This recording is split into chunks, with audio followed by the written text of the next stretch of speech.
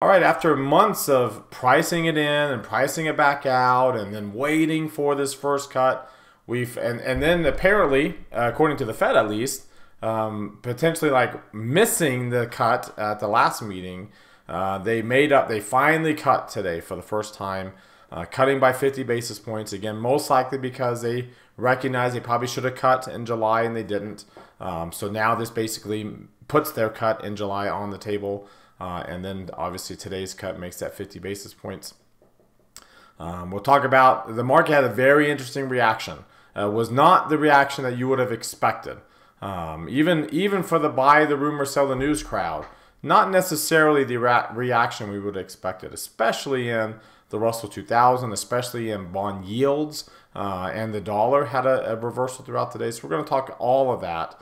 Um, and then, of course, break it down to what we're expecting. Uh, in today's technical analysis class, uh, we always have on Wednesdays, uh, we broke down uh, some long-term charts uh, on the S&P 500, the NASDAQ 100, kind of what they're showing. so that kind of today's kind of gives you a little sample of what we talked about there um, and what our expectations are coming out of this meeting now. Now that we are potentially starting a cycle, what does that mean going forward? uh, for our expectations for this bull market that we've essentially been on um, throughout this since again 2009 uh, with that uh, sharp brief dip in rates and with COVID right 2019 and then COVID. Now we're dropping them again. Uh, is this now the end of that big long secular bull market? We'll break all that down and then take a look at our trade idea for the day and a stock in the communication services sector, so part of those big, those big three cyclical areas uh, that's showing its own signs of weakness. So let's go ahead and get started. Today is Wednesday, September 18th, 2024. This is the market outlook from marketscholars.com. My name is David Settle. Before we get going too far, I invite you to subscribe to our YouTube channel. This icon here, the red subscribe button down below. Click the thumbs up icon to like our video. Comment on anything that stood out to you today. Join our website at marketscholars.com for free. Follow and like, uh, follow me on Twitter, excuse me, for more content between the videos. I put a lot out there uh, this week regarding today's decision, so make sure you're following me, following me there for more content on Twitter. Uh, and again, join us uh, at our Market Outlook Facebook group that we've created. If you're watching us on our blog, check out some of these other things over here on the right, including our Market Outlook live video. This is where I take a look at old trades. Uh, we manage the ones that we've put on previous videos, see whether we should stay in them, get out of them. We also put on today's trade already before the market closed. Uh, come down to the bottom, click this heart, it opens up this tab, hit that like button there. Click uh, this thumbs up icon, it takes you to this tab, hit that like button uh, on today's videos. Uh, again, the more you do that, it helps get our content out to all of our followers on those platforms. So thank you to those who do that day in and day out. Uh, those who don't, you can do right now while you're watching with one or two really easy clicks. Let's start off taking a look at the S&P 500 with the market forecast indicator. As you can see, the, we had a down day with a long upper shadow. Uh, that tends to be bearish when you have the long upper shadow there, and it's a it's considered to be, excuse me, a bearish reversal pattern. We did not, however, close below yesterday's low. That's a good sign, relatively good sign. Um, the intermediate line, and it's only a small loss. It's barely above average on the range. It's only a third of a percent, so we're hardly talking about a big decline here. But again, the long upper shadow means that we did drop quite a bit from the high. And again, that high came immediately after, uh, and I think we retested it again, the actual uh, the decision, interest rate decision.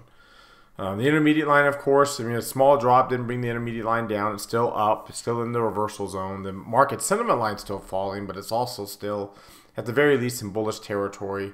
Uh, of course, your intermediate line is above market sentiments. That's bullish as well. Uh, the near term line is down in the bearish territory, and you have an oversold momentum line again. This is a classic buy the dip signal right here on the market forecast pattern. Strong bullish posture, oversold momentum line, and a bearish near term line. Now, without being too extreme, right, without being in the reversal zone. Now, the momentum line is a little too low. Like it's, we don't typically like it to be kind of like this, where it's um, you know, below 20, but not below, excuse me, not at extremes. Uh, it is the fifth percentile is an extreme low. So that makes me a little bit cautious about this buy the dip. But just in and of itself, this is a bullish signal. Oversold momentum line, strong bullish posture, bearish near term line. That's a uh, opportunity for us to bounce right off of that and start a new near-term rally, right? Start a new near-term run. This near-term run was pretty good, and we would anticipate a new one uh, coming out of this one. I would like to give it a day just to make sure uh, that this, you know, to see that this momentum line actually bounces out here too, uh, without it, you know, staying down here. But if it stays down here, then there's a good chance the momentum line follows it down, right? Because that's the concern is do we get, you know, coming off of a bullish near-term peak, which is great. Uh, are we going to get a Are we going to get a bullish near-term low? That bounce here would be a bullish near-term low. Um, but this is again, this is day one of the near-term line being below 60. Uh, what you know, it takes two days for it to get from above 60 to getting below 20. Uh, and produce a bearish near-term peak. So tomorrow's day two. So that's why I say that's you know again the, the, I anticipate that we'll bounce out of this tomorrow, but just in case the near the momentum line stays down and the moment near-term line comes down with it and produces a bearish low, I'd be a little hesitant. So again, a bearish low in and of itself is not a bad thing unless it's followed, you know, unless it's either preceded or followed up with by a bearish near-term peak. Uh, this obviously was not preceded by a bearish near-term peak. This is pretty bullish, and we'd have to see if the next peak on the near-term line would be bearish. Uh, with the near, with the intermediate line as high as it is, you wouldn't anticipate that it would be, um, but obviously you can see like it happens. It happens here on that last near-term peak. Uh, the very all-time high that we had at the time uh, ended up being a bearish uh, peak, but it came off of a bullish low point, right? So once we got bearish lows, then you can see it was you know it was hard to get right back up to a bullish peak. So let's see what happens here tomorrow um, with uh, this day two of the near-term line dropping below 60 and see if we actually do get a bearish near-term low here. If you take a look at the NASDAQ 100, uh, same thing. It's almost the exact same pattern. The only difference is the intermediate line is not above the 80th percentile and it actually did turn lower. So we do have light pink shading already on the near-term line. And, and another day to another day, like we just talked about, you know, with the near-term line following the momentum line into the reversal zone, another day would suggest um, that we probably get a, a bull tag uh, tomorrow, light pink shading in a yellow line. So uh, the, inter, the intermediate line, the near term line, excuse me, crossed below the intermediate line, which is a bearish crossover, uh, and the um, the but the intermediate line at least is still above this falling market sentiment, which is actually a lot lower uh, than the S and P's market sentiment line. If you take a look at the Russell 2000, um, you can see its near-term line is also crossed below the intermediate line. Its intermediate line also has not crossed above the 80th percentile yet. It's going up at a faster clip. Remember, the near-term line is actually dropping, or the Nasdaq's intermediate line, excuse me, is actually dropping. The Russell's has not yet, um, but still, that's a bearish crossover. Uh, and we're not necessarily in the reversal zone yet on the intermediate line. And then you have an oversold momentum line. So again, a chance that we can bounce off of this, right? Just bounce right off of this. But considering the last time we had a long upper shadow with a with a kind of like a dragonfly doji or tombstone doji is what they call these patterns. They tend to be pretty bearish, and we'll see if this one ends up doing the same thing that the last time it did uh, there uh, into the beginning of August. All right, if we take a look now at the long-term chart, the weekly chart, you'll see um, that again we still have the bullish candle, so one day doesn't change that. Um, you know, but again, the idea, the the potential, we, we're not closing above the high as of right now, and we are setting ourselves up for you know a potential another transition candle next week. So uh, that's something to keep an eye on. The Nasdaq 100 obviously is not nearly as bullish uh, at all. If you note, if you follow that cursor to the left, and the PPO is actually still falling here uh, and converging. So we are definitely still in convergence mode uh, on the NASDAQ 100. If you take a look at the uh, three green arrow chart, obviously we still have three green arrows all across the board. You can see the long upper shadows, especially like I said in the Russell 2000. Um, you know, makes us a little cautious. Uh, the MACD histogram uh, for the other indexes have already turned down. Uh, remember, they didn't, you know, we've already had our surge of momentum here uh, in the middle of August. So we weren't going to get another surge. Most likely, we weren't going to get another surge. And it looks like we're already starting to peter out here. If I look at the two-line version of this chart, you can see we're still above moving averages. Uh, that There's that long upper shadow again. You can see the histogram. MACD is still above its moving average for the time being. If you take a look at the Qs, uh, it's also still barely above its averages. They're, they're a lot more tightly clumped uh, than the S&P, and of course nowhere near the all-time high like the S&P has already passed. And the MACD you can see is close, you know, is is uh, the histogram starting to roll down there uh, to the downside, but nothing too significant yet in terms of crossing over. Um, the DMI, the positive indicator, still can't get above 25. Right, it's got to get above 25 for us to have any idea of a trend.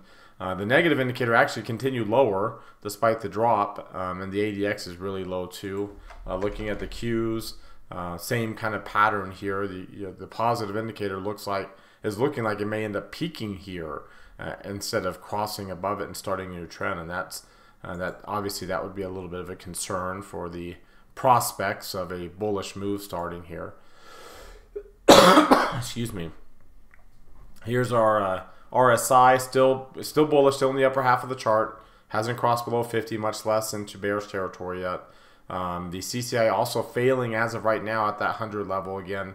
You know, if you're if we're going to maintain some bullish trending moves, we got to get above that 150 mark on these bullish swings higher, and we, we're not uh, doing that. And we definitely don't want to swing below minus 100.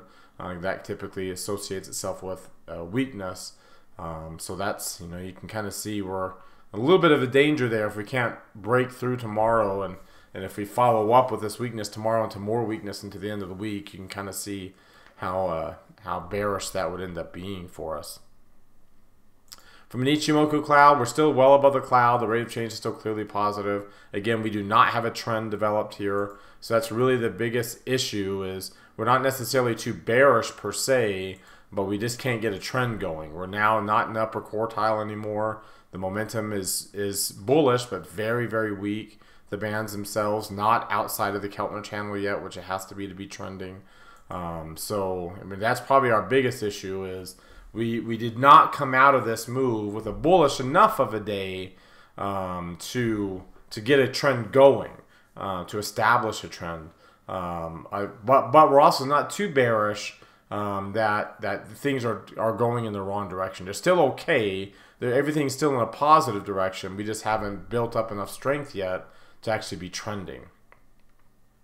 If we take a look at the uh, intraday uh, moves, you can see we ended up closing near the low of the day, uh, higher high right immediately after the um, FOMC announcement. Uh, we ended up testing it briefly, but then coming back and, and testing uh, yesterday's low, but not breaking through. That's a very good sign uh, that we at least held these lows um, right now, as of now, because you break those lows, there's not a whole lot of volume support on an intraday basis. So that's a good sign uh, on the S&P. The Qs, same thing. You break through those lows of the past couple of days, and there's not a whole lot of volume support. It's very top heavy four week range. So as of right now, everything is okay um, on the S&P and the Qs. We got this one touch. Um, so far, so one touch, and then we got to 100 on the green line.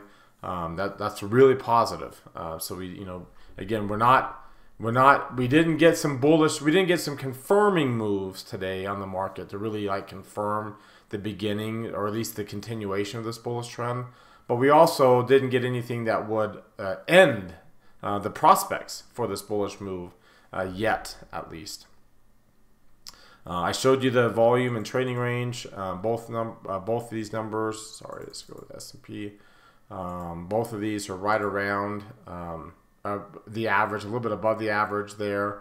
58 million shares trading down there is also above the average. Again, that average is still relatively high, uh, so we need that average to get down below, you know, five point, five and a half points, so we can get below one percent, and again establish a bullish trend. And you can see the volume, as I mentioned before, you know, it's going to be hard for the volume to really get going too much lower because we're already near 52 week lows, so it's more likely than not to go up than it is to go down, which obviously does that typically during declines more so um, during rallies.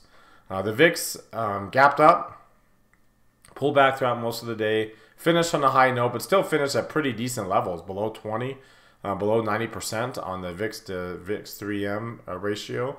Uh, the VVIX stayed high, so I was hoping that we could get the VVIX down after the FOMC below 100, because um, that would suggest that a lot of the uh, cost or concern has been taken out of the market now. Obviously, that's not the case. So there's still issues here uh, with uh, the markets are, you know, the in this case, the options market still has some concern uh, about um, uh, the the S&P 500 and its prospects. You can see we we closed. We're still above the 200 day. We ended up closing up above um, these moving averages here. So, um, and so yeah, you can see that if I were just to look at this way, yeah, we closed above all of them. Um, so you know that's a just a sign that we're a little bit elevated uh, on volatility, and and like I said, with the higher VVIX, there's a possibility that the VIX can continue to rise going into the end of this week uh, and coming out of, of, of uh, September expiration. If you look at the seasonality for volatility, uh, there still is an opportunity for volatility to rise from this point, uh, or yes, tomorrow at least, um, going into pretty much the end of October. Um, there's an opportunity for volatility to rise uh, from mid July, and it started a little earlier, but the trend has been we've been following that trend, and it looks like we probably will continue to follow a trend to the upside, at least from again from a seasonality perspective, going through the end of October there. All right, now let's take a look at what's driving this action. Of course, we know what happened, uh, what the biggest driver today of the market was, and it was uh, the FOMC rate decision. Let's take a look at what it did to the various uh, asset classes again just today alone.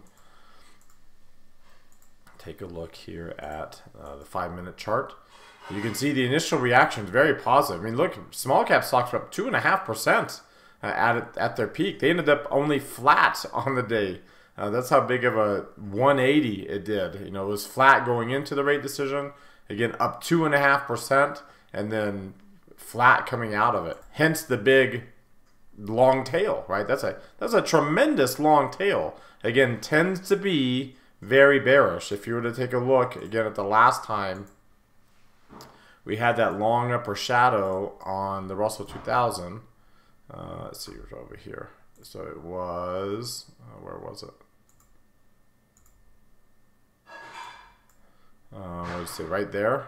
Um, if I can there we go. So right there, uh, it's July 31st. Um, well, we can take a look at July 31st here. So let's pull this up to July uh, 3rd. Uh, let's go 25th um, and take a look at it over there. Give it a second to load itself up. Actually, let's do this. Let's do 31st. Let's just look at the 31st by itself. July 31st on a five minute chart. There's that long upper shadow. Again, we were kind of flat. Uh, we ended up two and a half percent up uh, at the peak. Again, this would have been uh, FOMC day. This was an FOMC day, I believe, uh, on July 31st. Uh, we rallied up to the upside. Let me just make sure. Yes, you can see here, July 31st was an FOMC day. It was also an FOMC day, and um, we went into the meeting uh, right up about a half a percent, two thirds of a percent, rallied up to two and a half percent, full drop to the downside. Uh, and that's exactly what we saw there today. So a very similar type move, of course not as similar. Uh, in fact, uh, the Fed was was some people thought that they could start hiking rates at that meeting. Obviously, they didn't. Uh, and now uh, the thought was, if you've been following me on Twitter, you know that the signs were there for 50 basis point cut. Uh, I just posted over the past few days all sorts of posts talking about the prospects of a 50 basis point cut and how the Fed does it. Right, the, it was very likely that we were going to get one. Um, and which basically means that the Fed's recognizing that they should have cut rates in July. That's what they're saying. They, they were too late. They should have cut rates in July, and now they're catching up to having two cuts now uh, by this meeting instead of uh, just the one by, by doing two cuts at the same time. Uh, that's really all they. That's why they cut rates for the 50 basis points. Uh, what's interesting though is the impact it had on yields yields actually rose. Look at bonds dropping like a rock today. Um, they were down a little bit going into the meeting and rallied after, but then really took a fell. The dollar had the opposite direction. The dollar actually dropped um, and then rallied and ended up being the best performing asset class on the day um, by the time uh, the day was over. So let's take a look at some of their charts. Let's take a look at the yield chart of yields first. And there's our move up, four basis points at 3.68 percent. Uh, you can see we're above that eight-day moving average. MACD has turned pot. The histogram has turned positive. Um, the stochastic still deeply negative. So we haven't like we haven't uh, broken out here. We haven't gotten above the 17 day. Uh, we did that already a couple of times here, and we failed both times. The last two times, really, the last three times, we tried to get above the 17 day. Um, you know, four or five if you count all these instances too, and they failed at all of them. So you know, and today we didn't even get above the 17. So there, you know, let's keep our eyes on that. I don't think necessarily we're you know taking off to the upside per se. If you take a look at the dollar index, uh, here, let's pull up the regular chart here on the dollar index. It had a big, long lower shadow. Um, so you can see the big, long lower shadow there. If you take, let's take a look at the uh, currency comparison chart. Uh, we'll just go to, again, just today. Uh, remember, this the today's currency chart starts uh, overnight. Um, so we'll go to a 10-minute chart there. Um, let's see. No, that's not. I don't want commodities. Sorry, wrong chart. I want currencies. There we go. And then let's look at today on the currency chart. And we'll come over here. There we go.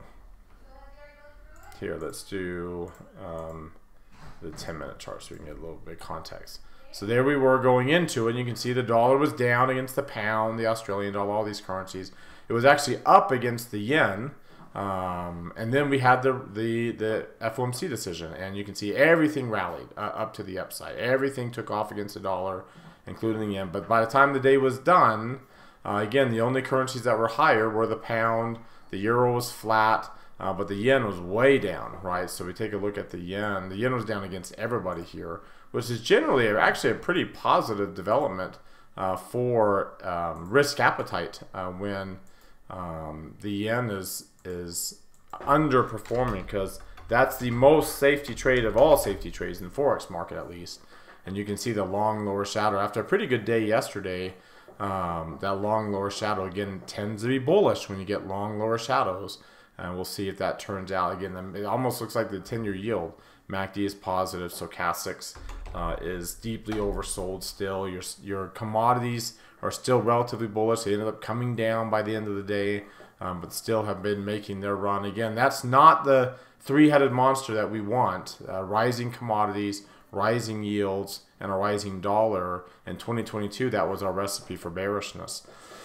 and that's been the recipe uh, for bullishness for a long for, a, for since then essentially if you take if I were to go all the way back let's go to the asset class comparison chart and let's go all the way back to um, uh, the beginning of 2023. So at the end of 2022, uh, going forward, you can see uh, commodities have been bearish, yields have been relatively flat.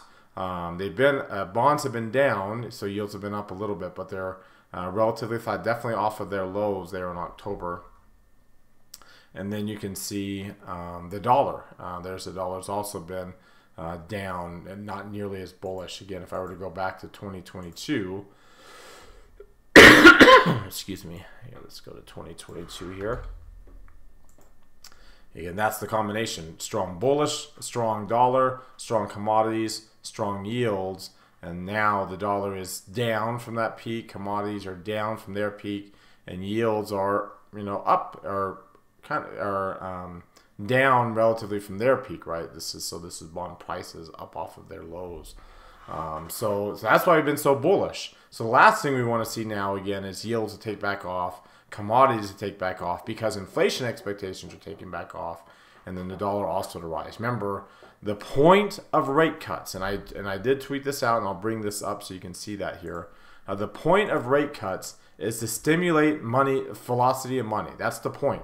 Uh, soft landings means they get that right, right? So velocity is dropping, velocity is dropping in all these instances and then they they drop rates. So you can see in the 1990 they they caught it in time without it dropping any further. Um, we ended up with a recession, but it was very mild. Uh, we didn't even get a bear market out of it, just a correction, and then the velocity increased during that rate cutting cycle from 90 to 92. The mid 90s, they caught it, right? Velocity was dropping. They started cutting rates. They caught it. It didn't drop any further. In 1998, velocity was dropping. They cut rates at mid cycle adjustment. Velocity rose again. Um, over here in 2019, um, they were doing okay until COVID, and obviously COVID made velocity really drop down. The times where they did not catch it, you can see when they started cutting rates in 2001, velocity kept going down throughout the recession uh, and then started to bounce after the recession was over. In 2007, they almost caught it. Velocity started to turn back up, uh, but then we had Bear Stearns and some issues in early 2008, and we dropped, and they kept dropping and went down the whole recession, uh, and then eventually turned higher.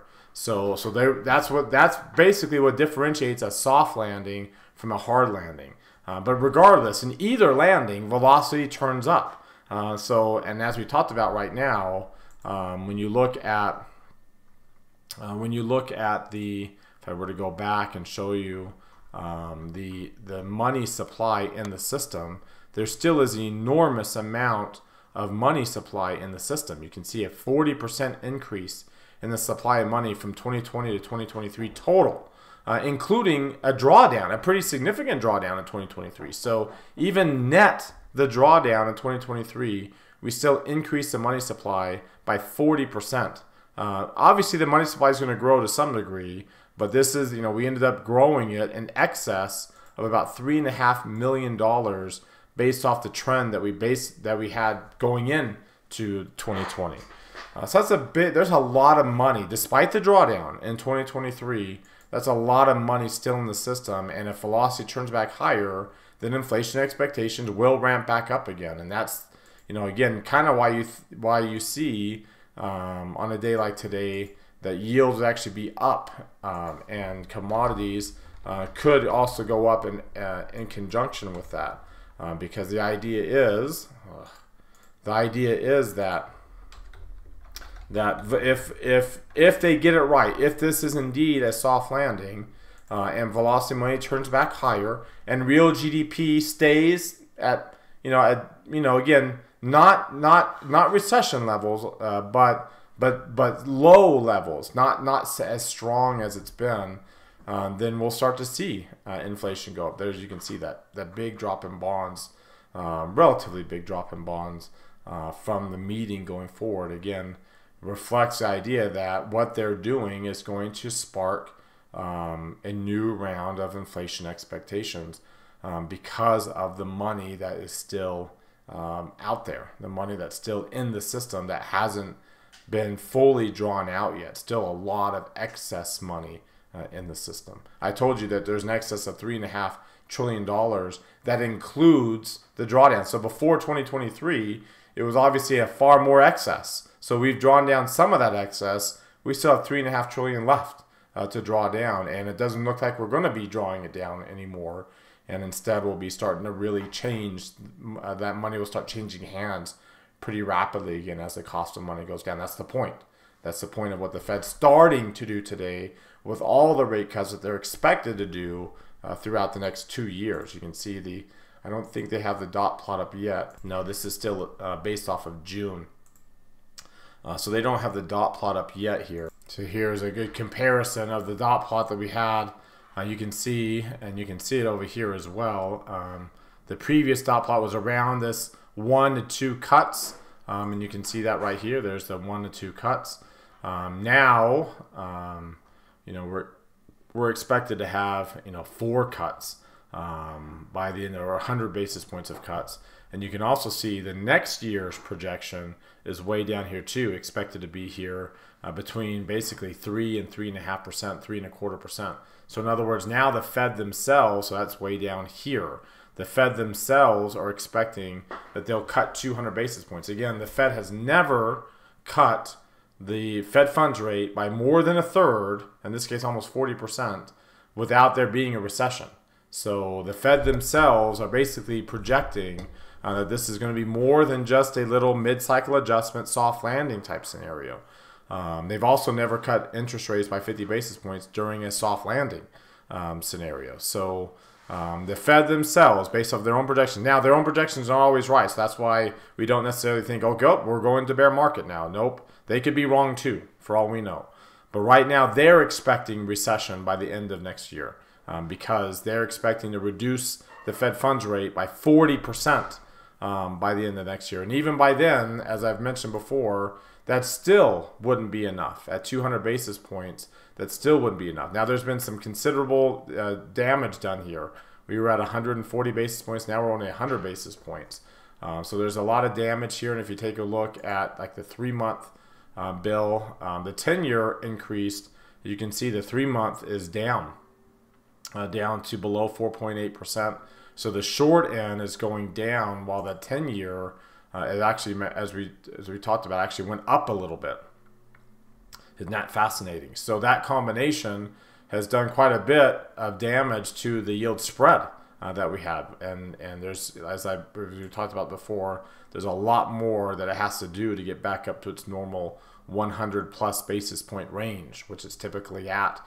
Typically, it's above 200 basis points, but um, we have a long long ways to go. If with the ten-year at 3.71 100 basis points puts the Fed funds down to two and three quarters. Uh, again, without the ten-year dropping or moving up at all. Um, that kind of gives you an idea of how much work the Fed has left to do and, and what they are anticipating themselves to end up doing um, by the end of next year. So before we wrap up, let's take a look at our trade idea of the day. I wanted to take a look at Electronic Arts. It actually looks pretty similar to uh, Adobe we looked at earlier for a trade idea here previously. You can see the stock is um, two days in a row now. We kind of failed at that 30-day moving average. We're back to dark pink shading and red line. The intermediate line turned down. Market sentiment lines pointed lower. It's actually dropping pretty quickly here. So we went from a bullish near-term peak that didn't last very long to a pretty strongly bullish, in fact, the most bearish, excuse me, uh, near-term low point there. Um, if you take a look at the weekly chart uh, for EA, uh, obviously, you have some bearish candles over the past couple of weeks. We're below a falling 10-week moving average. Uh, we've been fluctuating with those red and green arrows. The PPO is clearly falling. The, the size of the candle you can see is below its moving average down there. If you take a look at the three green arrow chart, we obviously have three red arrows, uh, have had for a while, and now we've got some extra volume uh, with this last couple of days. Uh, we've also dropped below that 50-day moving average, failed at the 30 and the 50. Uh, we're dropping towards that 200, making a run at the point of control. MACD and stochastics you can see at bearish levels. They're not the only oscillators at bearish levels. You can see the DMI is also at bearish levels, above, uh, almost above 30, but at least above 25 and below 20 on the positive indicator. Your um, ADX is already above 20 and rising. Uh, looking at the RSI and the CCI, they're also at bearish levels for the first time for the RSI, and uh, CCI getting back to minus 150 again. You can see the weekly CCI hasn't has not crossed below minus 100 yet, so it's working its way down. Has now crossed below zero at least. Uh, again, the week's not over with, of course. Uh, looking at the Ichimoku cloud, uh, you can see we have uh, the beginnings of an intermediate trend strength. Uh, now that we're almost to minus two and we're above 65, we're also below the cloud now. Uh, the rate of change is clearly negative. The green line is below the blue line there. And then finally looking at the Bollinger Bands and the Keltner channels, excuse me, you can see that we are at the lowest uh, quartile uh, of our bandwidth, sitting right on that band. The bandwidth is rising, uh, and the bandwidth for the first day is crossed out of the Keltner channel. Uh, we're pushing against that lower Keltner channel as well. Have not closed below it quite yet either. Uh, so really significant move uh, to the downside for EA and gives us an opportunity for a bearish trade. so what I decided to do was to um, buy the at the money, considering it's already made a pretty bearish move. Buy the at the money, buy one strike away, which happens to be the low 20 delta. Uh, so this is what it looks like here. Position sizing for our normal directional risk, about 500 bucks. That's half our normal risk that we take on a trade. And then, you know, again, about a two to one reward to risk ratio. And that's the flexibility we have on the trade for timing's sake, right? In case we have to, you know, wait it out a little bit of time. Because like I said, it's already made its move down. So it might, you know, bounce up a little bit here and kind of get a little exhaust, uh, oversold technical bounce. Um, so I have some opportunity, some timing, some time and flexibility for that to happen. Obviously, we'd get out of this trade if if it bounced up too much and the max gain ended up coming out of um, that one standard deviation window there. All right, well, that does it for today. You've heard from me now, and I want to hear from you. Use that link popping out in the top right corner of your screen. That takes you to our Market Outlook forum. Open up any new thread with any questions or comments you have. Reply to anybody else's thread, and let's keep this conversation going in between videos. Again, thank you very much for watching. Remember to subscribe to our YouTube channel, hit that thumbs up icon, comment on the video, join us at marketscholars.com for free, follow and like us on Twitter and Facebook as well. Have a great rest of your Wednesday night, everybody, and we'll see you all tomorrow.